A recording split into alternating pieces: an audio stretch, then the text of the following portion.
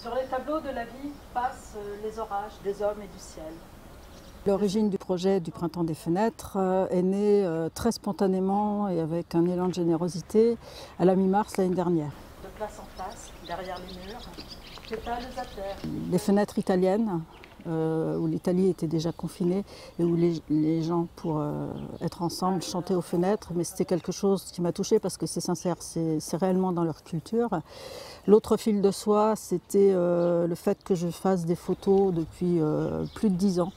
Alors des photos de fenêtres, de portes, euh, de nuages, de mer, de reflets, bon voilà. Euh, et, on était dans le printemps des poètes. Et je me suis dit, ben, printemps des poètes, printemps de fenêtres. Et j'ai commencé à écrire des poèmes. J'ai rangé mon parapluie, mis une robe légère, promenade du soir. Comme un rendez-vous pour aller voir. J'ai souri dans cette éclaircie dessiné de cœurs bleus sur les Donc j'ai écrit de la mi-mars jusqu'au 21 juin euh, une carte chaque matin, euh, un poème accompagné d'une photo de fenêtre.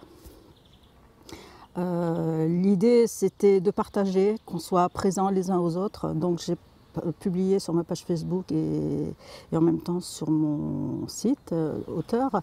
Et c'est quelque chose qui a fonctionné tout de suite, très vite et très fort. En mai dernier, j'ai rencontré le nouveau maire de Massane, Laurent Chapelier, euh, parce qu'il souhaitait euh, découvrir mon travail. Et au fil de la conversation, euh, voilà, il y a l'idée d'exposition qui, est née de part et d'autre.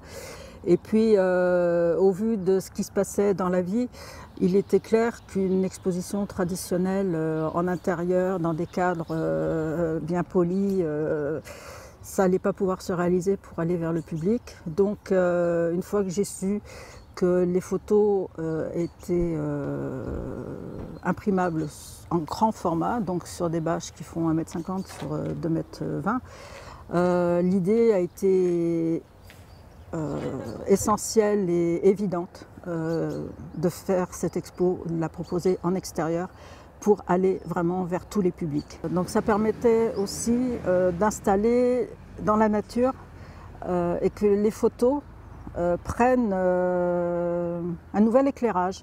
Donc pas un éclairage sage encore quand on peut voir dans les, dans les, dans les salles d'exposition, mais où on va jouer avec euh, la lumière naturelle, les ombres de la nature. Et ça, ça a été aussi une très jolie surprise de voir que l'exposition et les mots vivent à la lumière du jour et de la nuit, puisque à certains moments sous les lampadaires, il se passe des jolies choses aussi. La poésie dans la rue, ça, pour moi, c'est euh, une des plus belles récompenses. Euh, voilà, on dit souvent que la poésie, c'est euh, alors c'est intime. On est d'accord avec ça, et j'écris avec cette intimité-là, mais elle est pour tout le monde et elle touche tout le monde. Et je le vois avec les visiteurs qui passent, qui sont des personnes très différentes les unes des autres, qui ne vont pas forcément en médiathèque, ni en salle de spectacle, ni au musée, et qui sont extrêmement touchés par euh, la proposition, par euh, le travail, par euh, la poésie et par les photos.